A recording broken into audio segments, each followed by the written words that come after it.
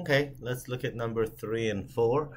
Uh, number three says construct a grouped frequency table with at least four classes. I've taken my data set and I've uh, written it in one column in an increasing order as I showed you before using Excel by copying my data. And I'll do it one last time, copying the data, moving it to a blank sheet somewhere else, pasting it here. And then you can just grab the numbers and put them underneath each other like that not that difficult. And then drag him here. And then grab these numbers and bring him right under it. And then select the whole thing and use the funnel to organize them from smallest to largest. And then I copy pasted them back into where the problem is at. So that's how I brought these, uh, organized these uh, data set, given data sets in an increasing order. Now look at the first one, it's 57 to 145. So I think I'm gonna make my classes uh, and frequencies. So here's my frequency table and let me make the columns a little wider. There we go and center everything. All right, for my classes, I starting at 57, so something close to it will be a nice and round, It will be 55. Uh, and I think I'll just do 55 to 65. Let's see if that works. 65 to 75. Would that be too much? Yeah, I think so. 75 to 85. 85 to 95. Uh, 95 to 105. Uh, by going in units of tens, right? So 105 to 115 and then 115 to 125 and then 125 to 135 so you see at this point I've gone way beyond the allowable. Remember I said you have to construct your frequency tables using anywhere between four to six classes so putting them in units of tens is too little so let's see I do 55 let's go units of 20 75 so 55 to 75 75 plus 20 is 95 and 95 plus 20 is uh, 115 right? So 50, 60, 70, 70, 80, 90, 90, 100, 115, 110, that's right. So then by units of 20, so 115 uh, plus 20 is 135, 135 plus 20 is 155, and that does it because my last number is 145 and that's within the limits and I've stayed one, two, three, four, with five classes. Now it'll be easy for me to do the count. And again, remember, you're writing 55 to 75 to avoid the gaps when you're drawing the histogram. But when you're counting, you can't double dip, so you never count the upper class limit. So here in reality, one more time, you're counting 55 to 74. And in the second one, you're counting uh, 75 to 94, and so on. So for the first one, 55 to 74, uh, 55 to 74. That's just one number. 55 to 74. So let's put one there. Now, how many numbers between 75 and 94? 75 and 94, there are only two numbers there. Let's use a different color, so it's two of them there. So that's how you do the counts. And then 95 to 115.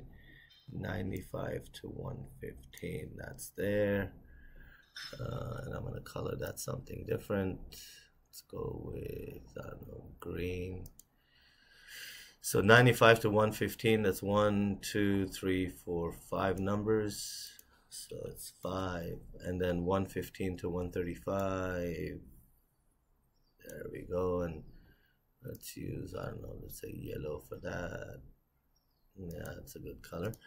Uh, one, two, three, four, five, six, seven, eight. So there's eight of them there.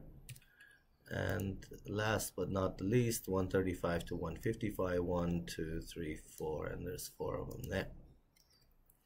And there is your uh, grouped frequency table for this data set.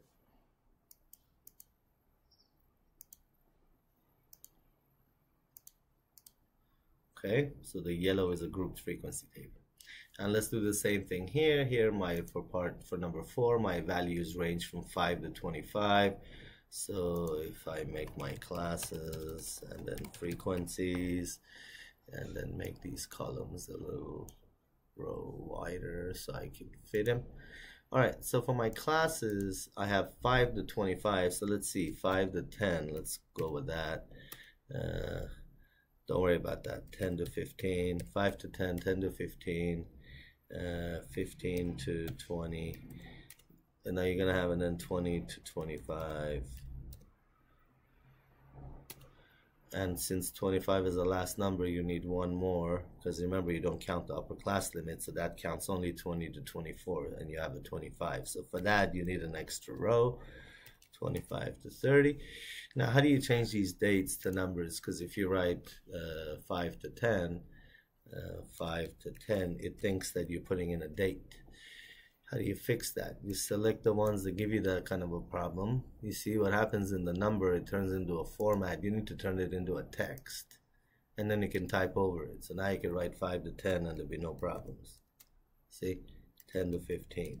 So that's how you get rid of the dates that appear. Turn the format of the cell into text. See? Text. Text. Right. So 5 to 10, 10 to 15, 15 to 20, 20 to 25, 25 to 30. That's perfect. Now how many numbers are between 5 to 9? So 1, 2, 3, 4. So the first count is 4. How many numbers are between 10 to 14? That many numbers. And turn that into uh, green. So one, two, three, four, five numbers are there. Okay, then how many numbers are between 15 and 19? There, and let's use a different color for that. Let's use orange for that. So one, two, three, four, five, six, seven, eight. So there's eight of them there. And then for 20 to 25, there's only three, actually 24. And there's only one number from 25 up, which is 25 itself. And there's the frequency table for number four. Now here it says draw the histogram. Uh, since these are value uh, range of values, not distinct values, I don't have to worry about deleting that top number empty cell here so you can just select the whole thing and go to insert then you can do a bar chart. And of course remember you have to connect the columns so right click format data series and just turn the gap width into zero. And there's your frequency table. I mean a histogram for the frequency table. That part is not easy. There you go histogram. Excellent. And this does it for number three and four. So let's move on to number five.